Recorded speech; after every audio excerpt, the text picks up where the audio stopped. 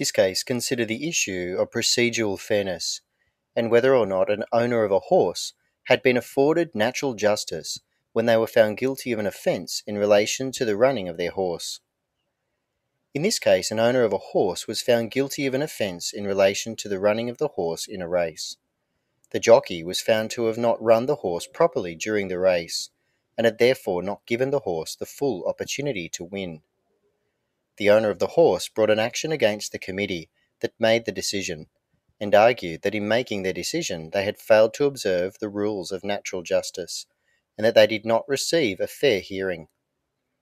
They argue that there was insufficient evidence upon which to make an adverse decision against the jockey and the owner.